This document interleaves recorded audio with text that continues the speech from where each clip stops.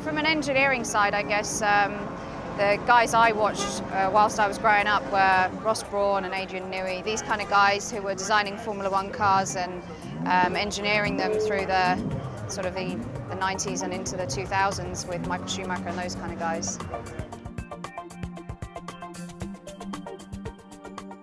I didn't feel any extra pressure. The, the, it was all still the same, that we still had to win the race.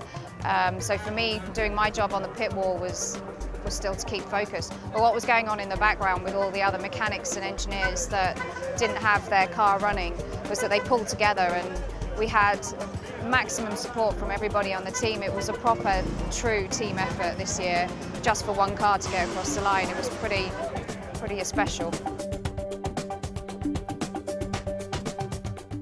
The end of the race, when everybody came out, um, I noticed how much it had really affected a lot of people quite emotionally. There was a lot of tears and it was slightly strange because for me, what was going on on the pit wall was a totally different experience. Yeah, it was pressurised, but nothing like what was going on out the back and I've spoken to people about what happened and how they were feeling and so many people pacing around in the back of the garage wondering what was going to happen.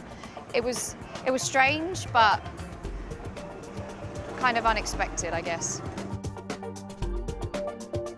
It took me around about 45 minutes to get from the pit wall back into the garage because there were so many people that just kept stopping me. When I did finally get into the, into the office and I just sat down, all I wanted to do was just call my mum because um, I knew that they had been following what was going on, but my phone was flat, so I was trying to struggle to get some charge into it so I could call home.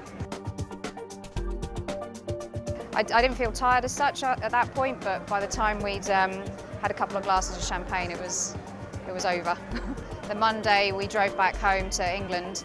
Um, guys from Audi Sport went back to Germany and within probably 24 hours after writing the reports up, we were straight back to, to preparing for next year.